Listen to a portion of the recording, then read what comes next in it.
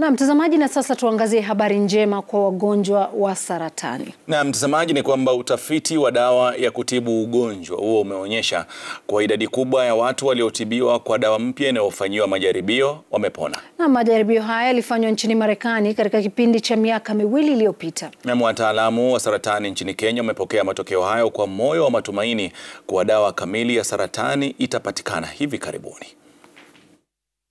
Uh, this is a form of what we call immunotherapy. With immunotherapy, it comes to help the body itself fight the cancer. Uh, it reaches a point when uh, cancer starts forming in the body. Most of the time, our bodies are able to fight it off, but it reaches a point where you are not able to fight off, and the cells start multiplying and they may destroy the, the body itself. So, with this kind of immunotherapy, which we call immune checkpoint inhibitors, they come into the patient's body and um, stimulate the immune system to fight the cancer cells.